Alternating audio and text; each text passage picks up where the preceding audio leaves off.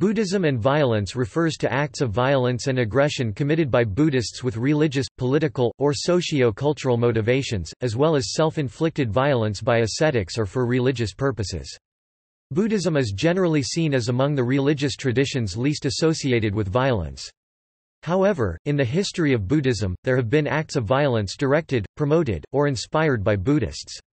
As far as Buddha's teachings and scriptures are concerned, Buddhism forbids violence for resolving conflicts. Teachings, interpretations, and practices. Buddhism encompasses a variety of traditions, beliefs and spiritual practices largely based on teachings attributed to Gautama Buddha. Ahimsa, a term meaning not to injure, is a primary virtue in Buddhism. Nirvana is the earliest and most common term used to describe the goal of the Buddhist path and the ultimate eradication of dukkha nature of life that innately includes suffering, pain, or unsatisfactoriness.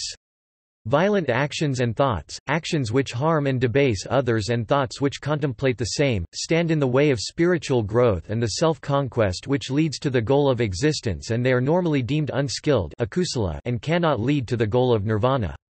Buddha condemned killing or harming living beings and encouraged reflection or mindfulness as right action or conduct, therefore, the rightness or wrongness of an action centers around whether the action itself would bring about harm to self and or others.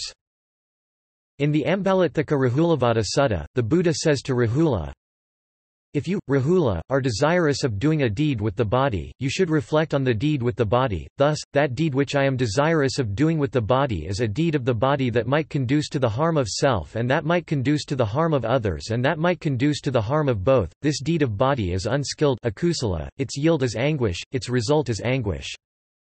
The right action or right conduct samyak karmanta, sama is the fourth aspect of the Noble Eightfold Path and it said that the practitioner should train oneself to be morally upright in one's activities, not acting in ways that would be corrupt or bring harm to oneself or to others. In the Chinese and Pali Canon, it is explained as And what is right action? Abstaining from taking life, from stealing, and from illicit sex or sexual misconduct. This is called right action. For the lay follower, the Cunda Kammaraputta Sutta elaborates, And how is one made pure in three ways by bodily action? There is the case where a certain person, abandoning the taking of life, abstains from the taking of life.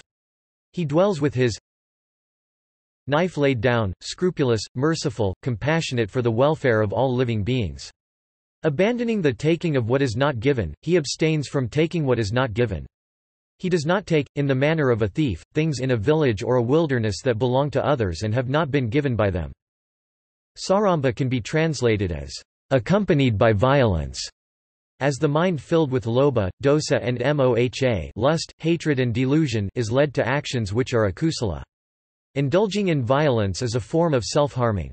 The rejection of violence in society is recognized in Buddhism as a prerequisite for the spiritual progress of society's members, because violence brings pain to beings with similar feelings to oneself. The Buddha is quoted in the Dhammapada as saying, "...all are afraid of the stick, all hold their lives dear. Putting oneself in another's place, one should not beat or kill others." Metta loving kindness, the development of mind states of limitless goodwill for all beings, and karuna, compassion that arises when you see someone suffering of the human being, are attitudes said to be excellent or sublime because they are the right or ideal way of conduct towards living beings. The Sutta Nipata says, As I am, so are these. As are these, so am I, drawing the parallel to yourself, neither kill nor get others to kill. In Buddhism, to take refuge in the Dharma—one of the three jewels—one should not harm other sentient beings. The Nirvana Sutra states, by taking refuge in the precious Dharma, one's minds should be free from hurting or harming others. One of the five precepts of Buddhist ethics or Sila states, I undertake the training rule to abstain from killing. The Buddha reportedly stated, Victory breeds hatred. The defeated live in pain. Happily the peaceful live giving up victory and defeat.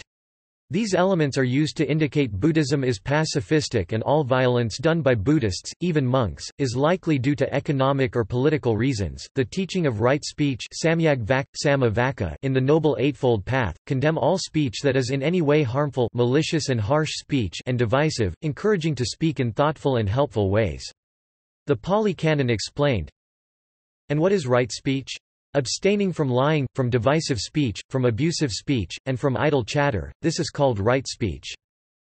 Michael Jerryson, Associate Professor of Religious Studies at Ohio's Youngstown State University and co-editor of the book Buddhist Warfare, said that, "...Buddhism differs in that the act of killing is less the focus than the intention behind the killing." And, the first thing to remember is that people have a penchant for violence, it just so happens that every religion has people in it.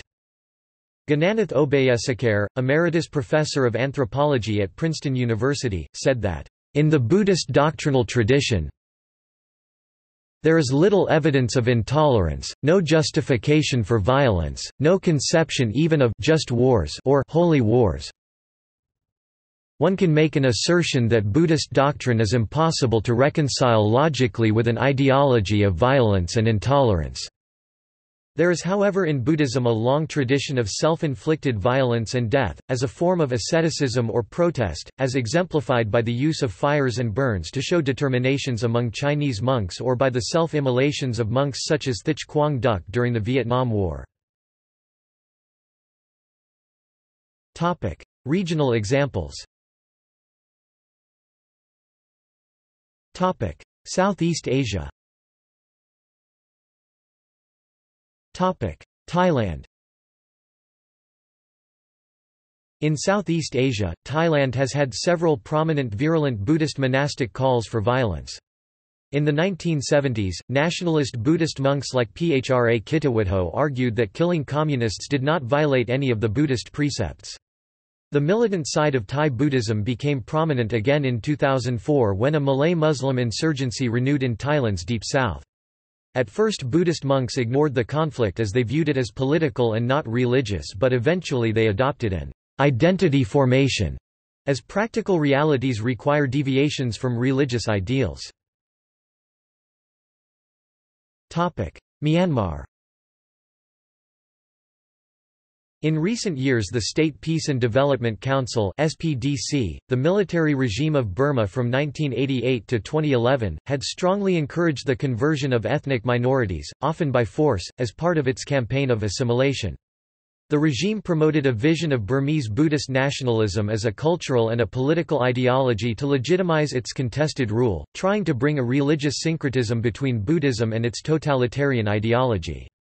The Saffron Revolution, a series of economic and political protests and demonstrations that took place during 2007, were led by students, political activists, including women, and Buddhist monks and took the form of a campaign of nonviolent resistance, sometimes also called civil resistance. In response to the protests dozens of protesters were arrested or detained. Starting in September 2007 the protests were led by thousands of Buddhist monks, and those protests were allowed to proceed until a renewed government crackdown in late September 2007. At least 184 protesters were shot and killed and many were tortured. Under the SPDC, the Burmese army engaged in military offensives against ethnic minority populations, committing acts that violated international humanitarian law. Myanmar had become a stronghold of Buddhist aggression, and such acts are spurred by hard-line nationalistic monks. The oldest militant organization active in the region is Democratic Karen Buddhist Army (DKBA), headed by a Buddhist monk U Thuzana, since 1992. In the recent years the monks, and the terrorist acts, are associated with the nationalist 969 movement particularly in Myanmar and neighboring nations. The violence reached prominence in June 2012 when more than 200 people were killed and around 100,000 were displaced. As of 2012, the 969 Movement by monks the prominent among whom is Wirathu had helped create anti-Islamic nationalist movements in the region, and have urged Myanmar Buddhists to boycott Muslim services and trades, resulting in persecution of Muslims in Burma by Buddhist-led mobs. However, not all of the culprits were Buddhists and the motives were as much economic as religious. On 20 June 2013, Wirathu was mentioned on the cover story of Time magazine as the face of Buddhist terror. According to the Human Rights Watch report, the Burmese government and local authorities played a key role in the forcible displacement of more than 125,000 Rohingya people and other Muslims in the region. The report further specifies the coordinated attacks of October 2012 that were carried out in different cities by Burmese officials, community leaders and Buddhist monks to terrorize and forcibly relocate the population. The Violence of Meiktila, Lashio 2013 and Mandalay 2014 are the latest Buddhist violence in Burma. Michael Jerryson, author of several books heavily critical of Buddhism's traditional peaceful perceptions, stated that the Burmese Buddhist monks may not have initiated the violence but they rode the wave and began to incite more. While the ideals of Buddhist canonical texts promote peace and pacifism, discrepancies between reality and precepts easily flourish in times of social, political and economic insecurity, such as Myanmar's current transition to democracy.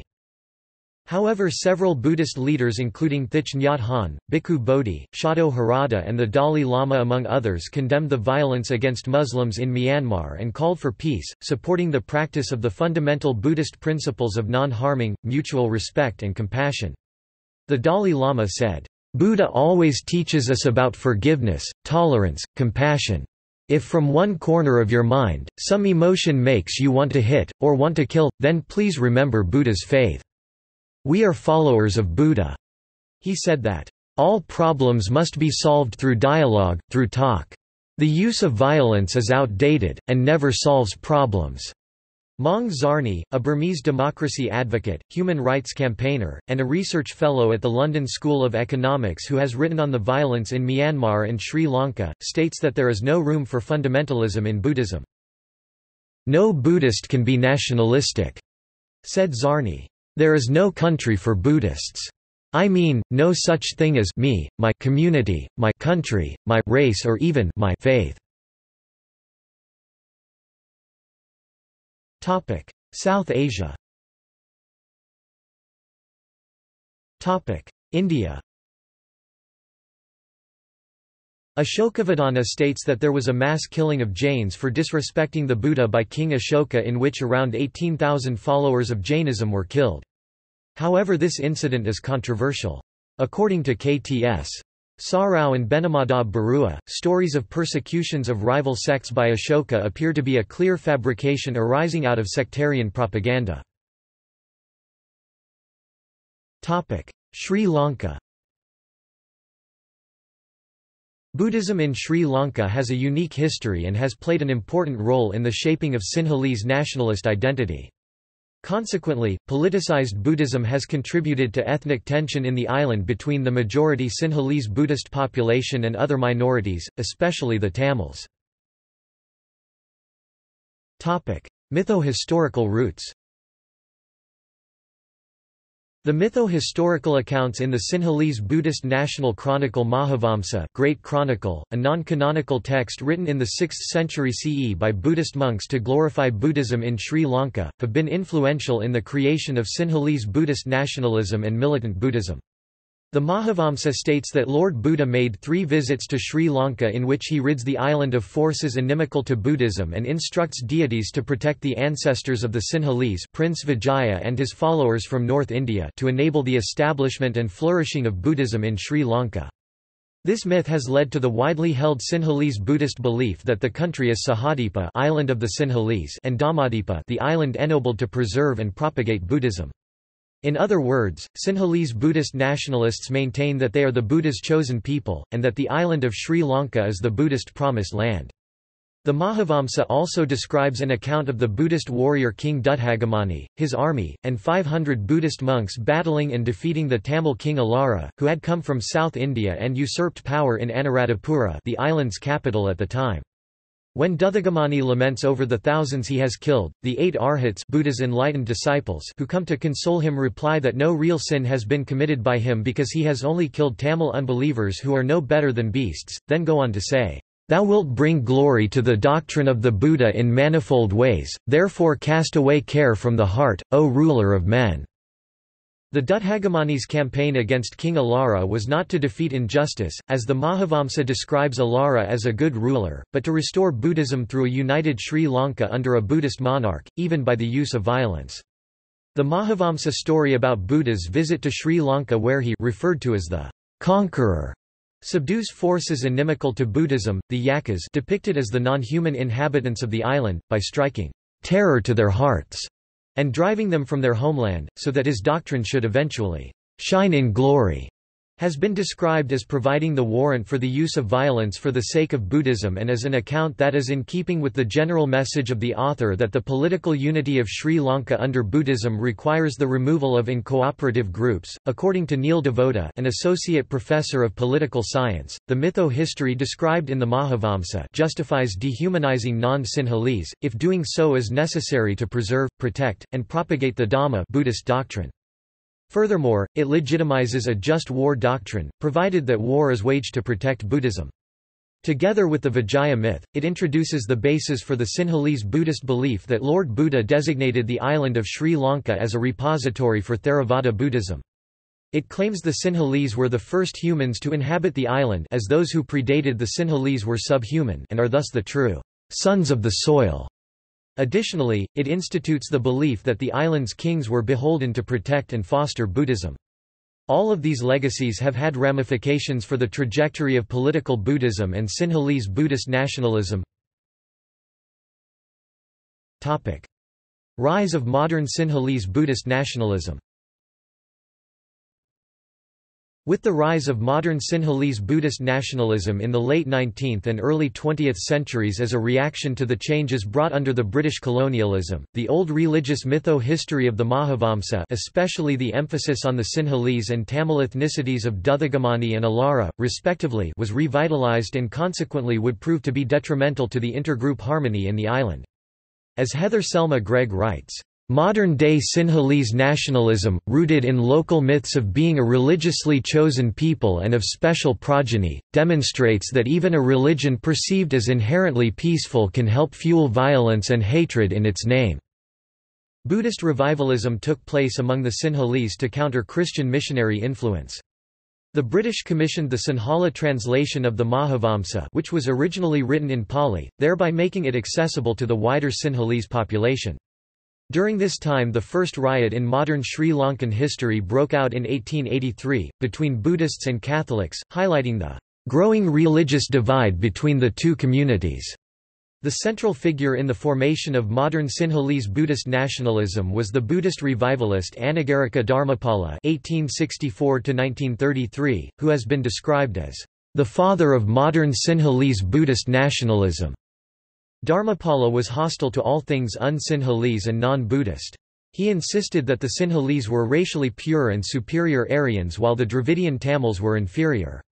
He popularized the impression that Tamils and Sinhalese had been deadly enemies in Sri Lanka for nearly 2,000 years by quoting the Mahavamsa passages that depicted Tamils as pagan invaders.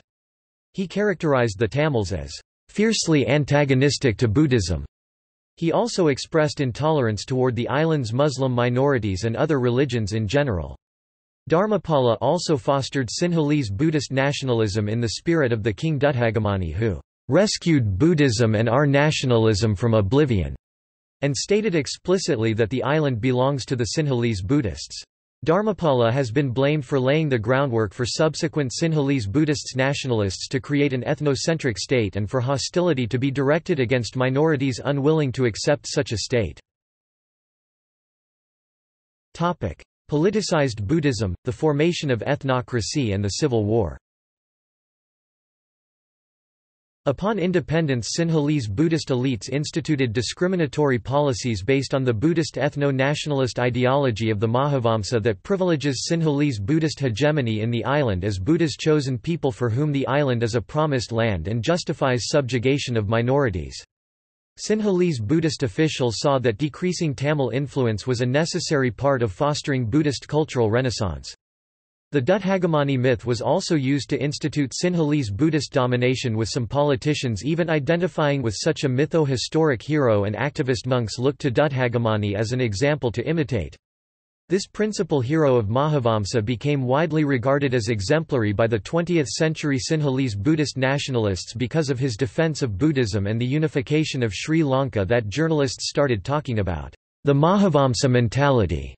D.S. Senanayake, who would become Sri Lanka's first prime minister in 1947, reaffirmed in 1939 the common Mahavamsa-based assumption of the Sinhalese Buddhist responsibility for the island's destiny by proclaiming that the Sinhalese Buddhists are one blood and one nation. We are a chosen people. Buddha said that his religion would last for 5,500 years. That means that we, as the custodians of that religion, shall last as long. Buddhist monks became increasingly involved in post-independence politics, promoting Sinhalese Buddhist interests, at the expense of minorities. Walpola Rahula, Sri Lanka's foremost Buddhist monk scholar and one of the leading proponents of Sinhalese Buddhist nationalism, played a major role in advocating for the involvement of monks in politics, using Buddhist king Dutthagamani's relationship with the Sangha to bolster his position. Rahula also argued for a just war doctrine to protect Buddhism by using the example of wars waged by Dutthagamani to restore Buddhism. Rahula maintained that the entire Sinhalese race was united under the banner of the young Gamini This was the beginning of nationalism among the Sinhalese. It was a new race with healthy young blood, organized under the new order of Buddhism. A kind of religionationalism, which almost amounted to fanaticism, roused the whole Sinhalese people. A non-Buddhist was not regarded as a human being. Evidently all Sinhalese without exception were Buddhists. In reflecting on Rahula's works, anthropologist H. L. Seneviratne writes that, "...it suits Rahula to be an advocate of a Buddhism that glorifies social intercourse with lay society, the receipt of salaries and other forms of material remuneration, ethnic exclusivism and Sinhala Buddhist hegemony, militancy in politics, and violence, war and the spilling of blood in the name of preserving the religion." In 1956, the All Ceylon Buddhist Congress released a report titled, The Betrayal of Buddhism, inquiring into the status of Buddhism in the island. The report argued that Buddhism had been weakened by external threats such as the Tamil invaders mentioned in the Mahavamsa and later Western colonial powers. It also demanded the state to restore and foster Buddhism and to give preferential treatment to Buddhist schools. The same year, SWRD Bandaranaike capitalized on the ACBC report and its recommendations as the foundation for his election campaign, using it as the blueprint for a broad spectrum of policy, which included introducing Sinhala as the sole official language of the state. With the help of significant number of Buddhist monks and various Sinhalese Buddhist organizations, Bandaranaike became prime minister after winning the 1956 elections. Bandaranaike had also campaigned on the basis of Sinhalese Buddhist nationalism, drawing influences from the writings of Dharmapala and the Mahavamsa, arguing that it was the duty of the government to preserve the Sinhalese Buddhist nature of the island's destiny.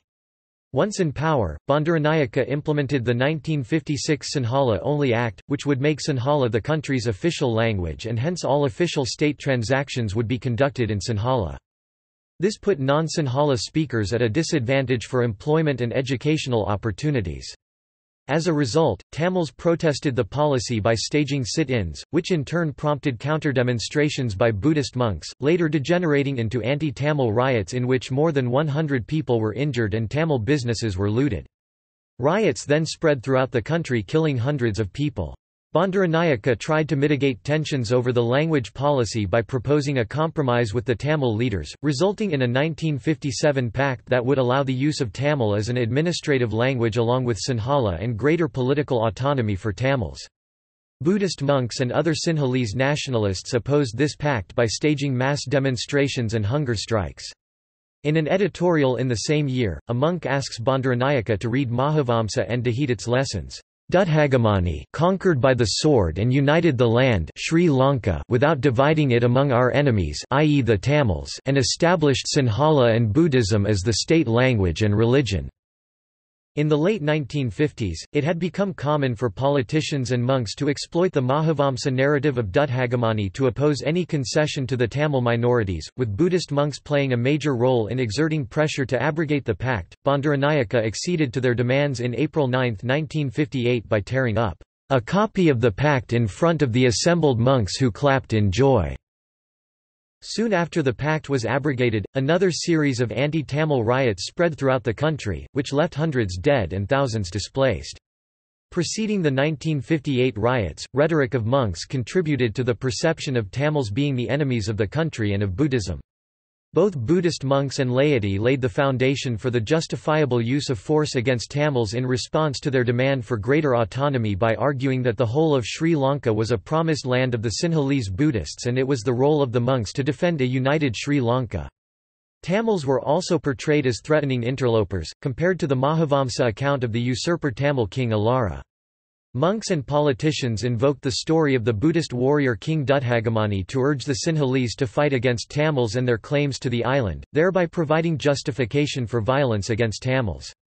As Tessa J. Bartholomeusz explains, Tamil claims to a homeland were met with an ideology, linked to a Buddhist story, that legitimated war with just cause, the protection of Sri Lanka for the Sinhala Buddhist people. In order to appease Tamils amidst the ethnic tension, Bandaranaike modified the Sinhala-only Act to allow Tamil to be used in education and government in Tamil areas and as a result a, Buddhist monk named Taldu Somarama assassinated him on September 26, 1959. The monk claimed he carried out the assassination, "...for the greater good of his country, race and religion." It has also been suggested that the monk was guided in part by reading of the Mahavamsa. Successive governments after Bandaranaike implemented similar Sinhalese Buddhist nationalist agenda, at the expense of minorities. In 1972, the government rewrote its constitution and gave Buddhism the foremost place in the Republic of Sri Lanka, and making it the duty of the state to protect and foster Buddhism. With another pact in 1965 that sought to establish greater regional autonomy for Tamils being abrogated some members of the Buddhist clergy were at the forefront in opposing the pact and the implementation of discriminatory quota system in 1974 that severely restricted Tamil entrance to universities, Tamil youth became radicalized, calling for an independent homeland to be established in the Tamil-dominated northeastern region of the island. In 1977, anti-Tamil riots spread throughout the country, killing hundreds of Tamils and leaving thousands homeless. A leading monk claimed that one of the reasons for the anti-Tamil riots of 1977 was the Tamil demonization of the Sinhalese Buddhist epic hero Dutthagamani, which resulted in a justified retaliation. Another anti-Tamil riot erupted in 1981 in Jaffna, where Sinhalese police and paramilitaries destroyed statues of Tamil cultural and religious figures, looted and torched a Hindu temple and Tamil-owned shops and homes, killed four Tamils, and torched the Jaffna Public Library which was of great cultural significance to Tamils. In response to the militant separatist Tamil group LTTE killing 13 Sinhalese soldiers, the largest anti-Tamil pogrom occurred in 1983, leaving between 2,000 and 3,000 of Tamils killed and forcing from 70,000 to 100,000 Tamils into refugee camps, eventually propelling the country into a civil war between the LTTE and the predominantly Sinhalese Buddhist Sri Lankan government. In the 1983 anti-Tamil pogrom, Buddhist monks lead rioters in some instance.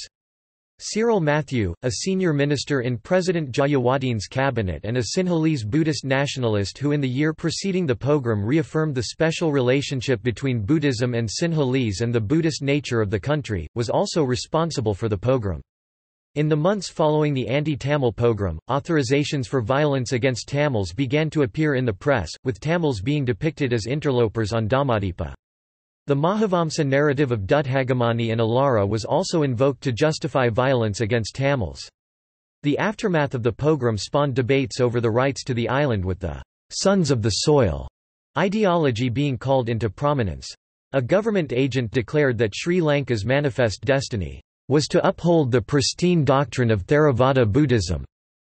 This implied that Sinhalese Buddhists had a sacred claim to Sri Lanka, while the Tamils did not, a claim which might call for violence. The Sinhalese Buddhists, including the Sri Lankan government, resisted the Tamil claim to a separate homeland of their own as the Sinhalese Buddhists maintained that the entire country belonged to them.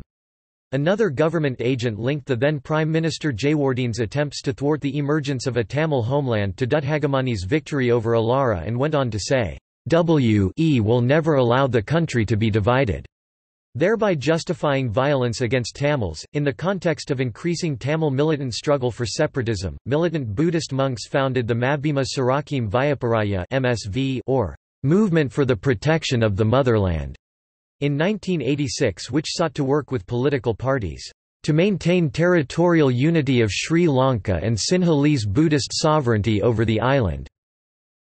The MSV used the Mahavamsa to justify its goals, which included the usage of force to fight against the Tamil threat and defend the Buddhist state.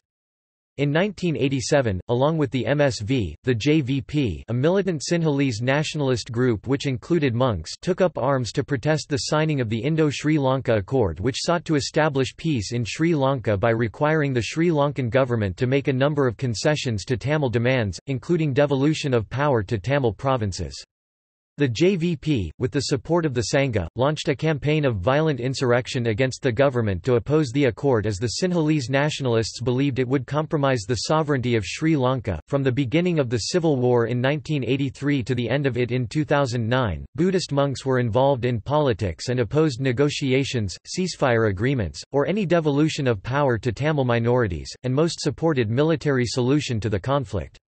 This has led to Asanga Tilakaratne, head of the Department of Buddhist Philosophy in the Postgraduate Institute of Pali and Buddhist Studies in Colombo, to remark that, "...the Sinhala Buddhist nationalists are opposed to any attempt to solve the ethnic problem by peaceful means, and they call for a holy war against Tamils."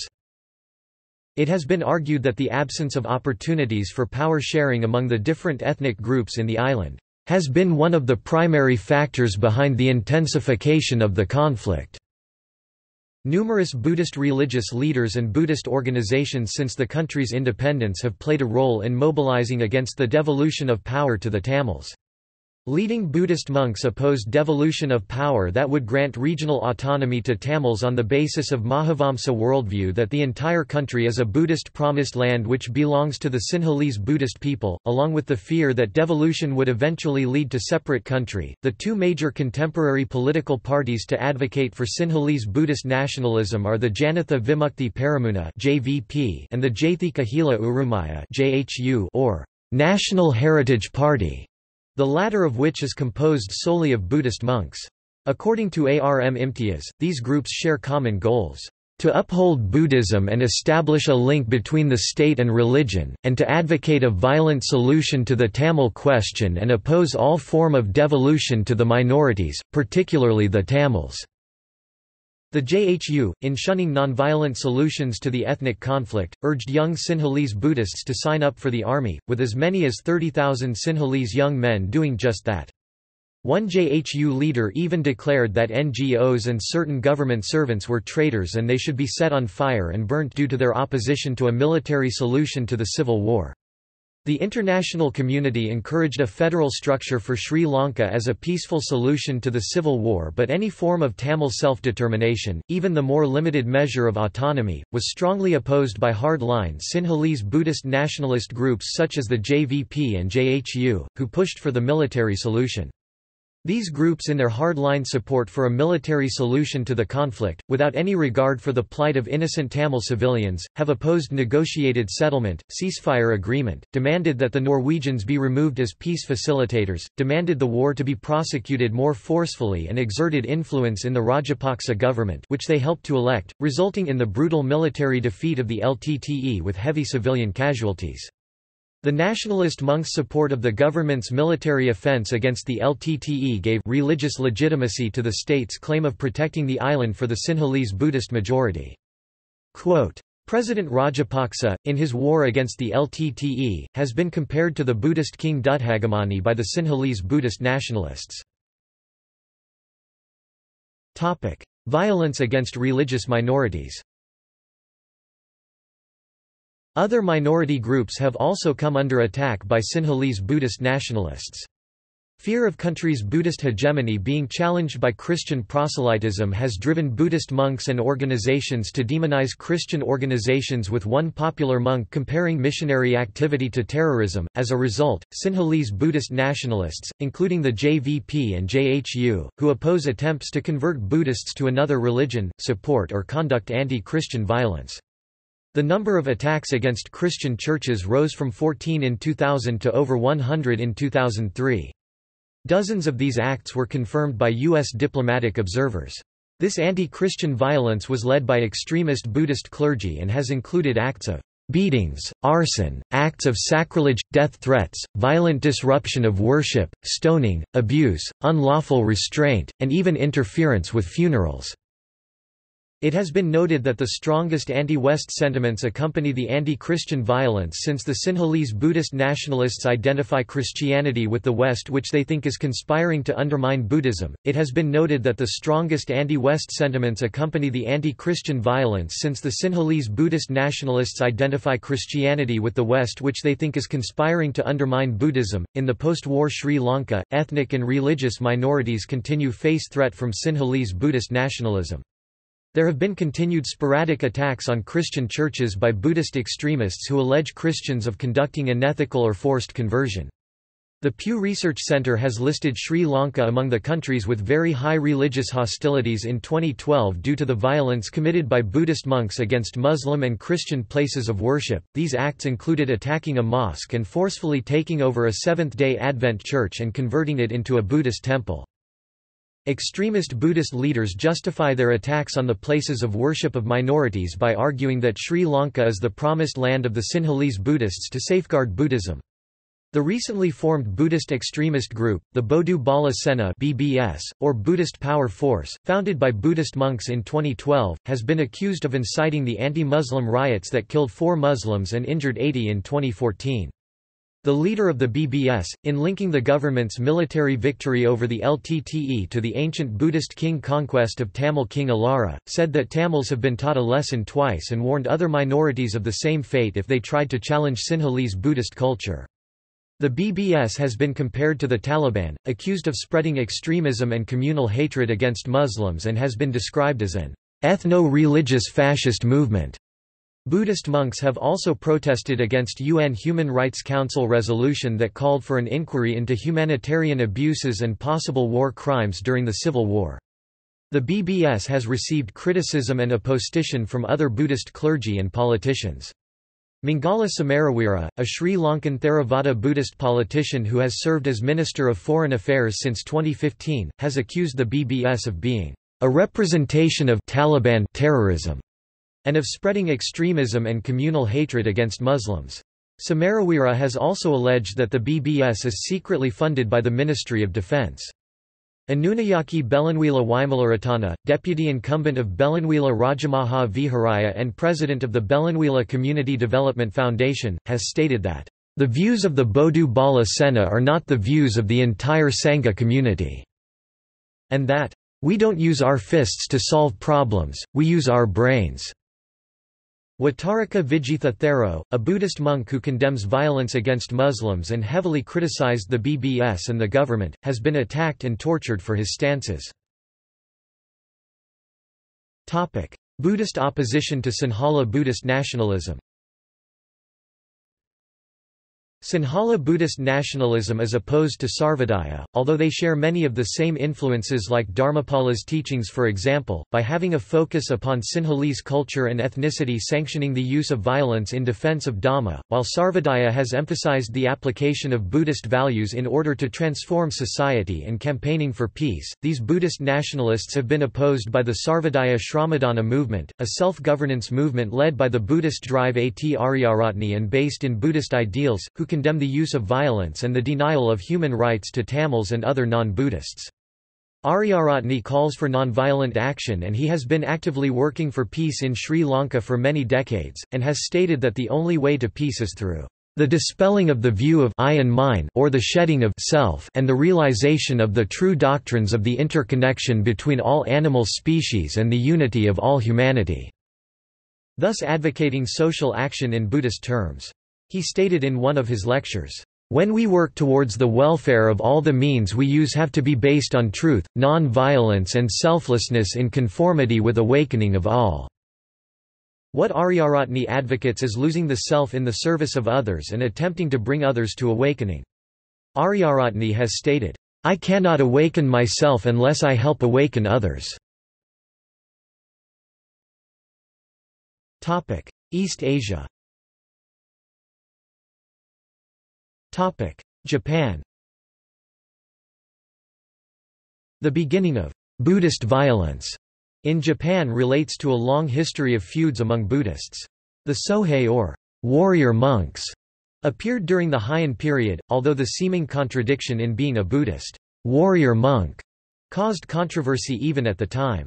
More directly linked is that the Ikko-shu movement was considered an inspiration to Buddhists in the Ikko-Ikki rebellion. In Osaka they defended their temple with the slogan, "'The mercy of Buddha should be recompensed even by pounding flesh to pieces'. One's obligation to the teacher should be recompensed even by smashing bones to bits." During World War II, Japanese Buddhist literature from that time, as part of its support of the Japanese war effort, stated, in order to establish eternal peace in East Asia, arousing the great benevolence and compassion of Buddhism, we are sometimes accepting and sometimes forceful. We now have no choice but to exercise the benevolent forcefulness of killing one in order that many may live This is something which Mahayana Buddhism approves of only with the greatest of seriousness. Almost all Japanese Buddhist temples strongly supported Japan's militarization. These were heavily criticized by the Chinese Buddhists of the era, who disputed the validity of the statements made by those Japanese Buddhist supporters of the war. In response the Japanese Pan-Buddhist Society rejected the criticism and stated that, "...we now have no choice but to exercise the benevolent forcefulness of killing one in order that many may live and that the war was absolutely necessary to implement the Dharma in Asia. The Society re-examined more than 70 texts written by Nichiren and re-edited his writings, making changes in 208 places, cutting all the statements that disagreed with the state Shinto.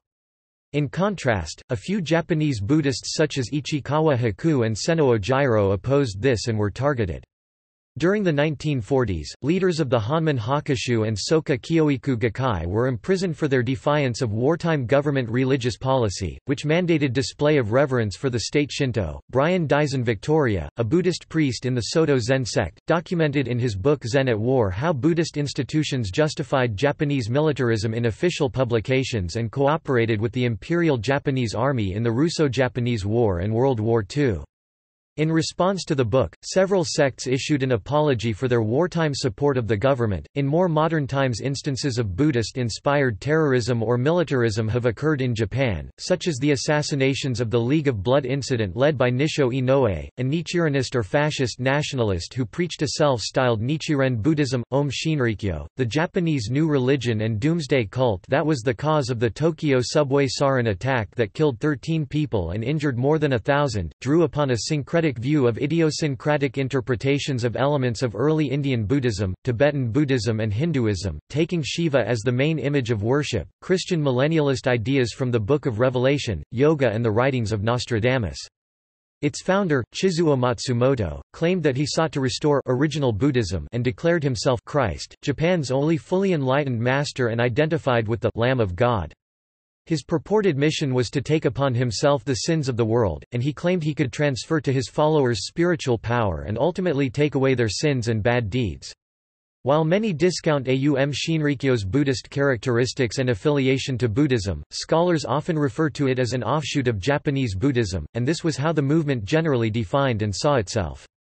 Topic see also Ahimsa in Buddhism Buddhist ethics Religious nationalism Sohei topic References topic Sources Barbaro, Paolo 2010, Buddhism and Violence in, Jeffrey Ian Ross ed., Religion and Violence, An Encyclopedia of Faith and Conflict from Antiquity to the Present, 1, M. E. Sharpe, ISBN 9780765620484 Baroni, Helen Josephine January 2002, The Illustrated Encyclopedia of Zen Buddhism, The Rosen Publishing Group, ISBN 978-0-8239-2240-6 Bartholomeusz, Tessa J. 2005, In Defense of Dharma, Just War Ideology in Buddhist Sri Lanka PDF, Routledge, ISBN 9781135788575, archived from the original on 26 May 2013 CS1 maint, bot, original URL status unknown link Bhikkhu, Thanissaro 1996, Magga Vibhanga Sutta, Access to Insight Bhikkhu, Thanissaro 1997, Cunda Kammaraputta Sutta, Access to Insight Bhikkhu, Thanissaro 2005, Saccavibhanga Sutta, Access to Insight Bhikkhu, Thanissaro 2008, Maha-cattarisaka Sutta, Access to Insight Bodhi, Bhikkhu 2010, The Noble Eightfold Path, The Way to the End of Suffering, Buddhist Publication Society, ISBN 9789552401169 Brannigan, Michael C. January 2010, Striking a Balance, A Primer in Traditional Asian Values, Rowman and Littlefield, ISBN 978-0-7391-3846-5 Buswell, Robert E., Lopez, Donald S. 2013, The Princeton Dictionary of Buddhism, Princeton University, ISBN 9781400848058 Chitkara, M. G. 1999, Encyclopedia of Buddhism, A World Faith. The Dhammapada Stories, Verses and Commentary, APH Publishing Corporation, p. 166, ISBN 9788176481809 Clayton, Barbara R. 2006, Moral Theory in Santidevas Siksasamuccaya, Cultivating the Fruits of Virtue, Routledge, ISBN 9781134278299 Deegalle, Mahinda 2006, Buddhism, Conflict and Violence in Modern Sri Lanka, Routledge, ISBN 978-0415544412 DeVotta, Neil 2007, Sinhalese Buddhist Nationalist Ideology, Implications for Politics and Conflict Resolution in Sri Lanka, East-West Center Washington, ISBN 978-1932728644 Fausbøll, Viggo 1881, The Sutta Nipata, Clarendon Press Gampopa, Gyaltsen Rinpoche, Khenpo Konchog 1998, Jewel Ornament of Liberation, The Wish-Fulfilling Gem of the Noble Teachings, Snow Lion Publications, ISBN 9781559398725 Gowans, Christopher 2000 2004, Philosophy of the Buddha, An Introduction, Routledge, ISBN 11344697-3-X Nanananda Thero, Kurabothgoda, Jayasinj, Hemamala 2002, The Supreme Bliss of Nibbana, A Goal Within Our Reach, Maha Satipatthana Sutta, translation of Aya Ama Nivansava Boho Dura Nove, Dayawansa Jayakody and Company, ISBN 97895555121 114 Ganguly, Sumit, Brown, Matthew E. 2003, Fighting Words, Language Policy and Ethnic Relations in Asia BCSIA Studies in International Security, MIT Press, ISBN 978-0262523332 Harris, Elizabeth J. 1994, Violence and Disruption in Society A Study of Early Buddhist Texts, Buddhist Publication Society Jerryson, Michael, Juergensmeyer, Mark 2010, Buddhist Warfare, New York, Oxford University Press, ISBN 978-0-19-539483-2 Jerryson, Michael K. 2011, Buddhist Fury, Religion and Violence in Southern Thailand, Oxford University Press, ISBN 978-0-19-979324-2 Kalupahana, David J. 1992, A History of Buddhist Philosophy, Continuities and Discontinuities, University of Hawaii Press, ISBN 978-0-8248-1402-1 Knaster, Mirka 2010, Living This Life Fully, Shambhala Publications, ISBN 978-08348225542 Markham, Ian S.,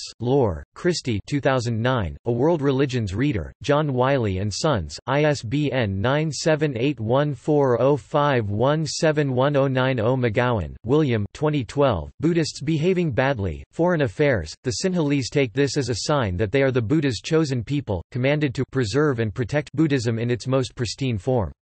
Mishra, Pankaj 2010, An End to Suffering, The Buddha in the World, Macmillan Publishers, ISBN 9781429933636 Neusner, Jacob, Chilton, Bruce, Tully, R. E. 2013, Just War in Religion and Politics, University Press of America, ISBN 9780761860945 Reat, Noble Ross 1994, Buddhism, A History, B.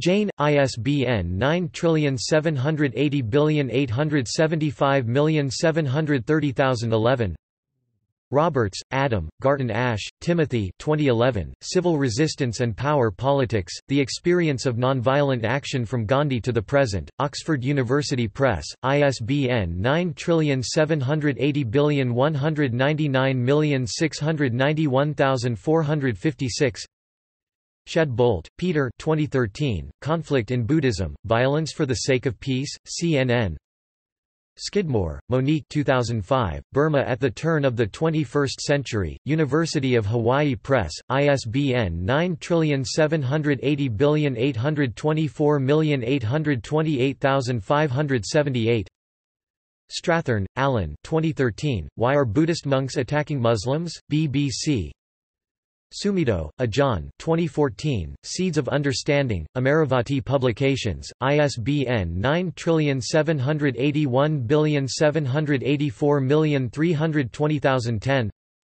Thera, Narada Maha 2006, The Buddha and His Teachings, Jaico Publishing House, ISBN 9788179926178 Thera, Nyanaponika 1994, The Four Sublime Contemplations on Love, Compassion, Sympathetic Joy and Equanimity Tripathi, Sridhara 2008, Encyclopedia of Pali Literature, The Pali Canon, Anmol Publications, ISBN 9788126135608 Zahn, Kathy 2002, Inside Buddhism, Lorenz Educational Press, ISBN 9781429109857